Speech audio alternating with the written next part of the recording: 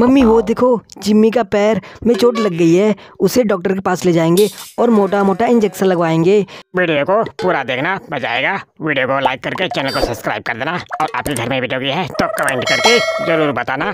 जिम्मी कहाँ पे छुप रहा है? बाहर निकल जा तुझे डॉक्टर के पास ले जाना है। जल्दी से तैयार हो जा।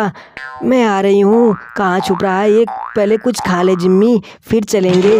तेरे लिए अच्छे अच्छे चिकन लेग पीस खरीद कर देंगे तुझे। जल्दी तैयार हो जा। खा के चलेंगे। जल्दी से खा ले। कुछ भी हो। अरे खा लेता हूँ।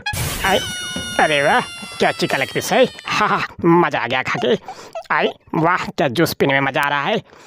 इसे जिम्मी को बेवकूफ़ बनाया। इसे तो डॉक्टर के पास लेने जाना था मुझे।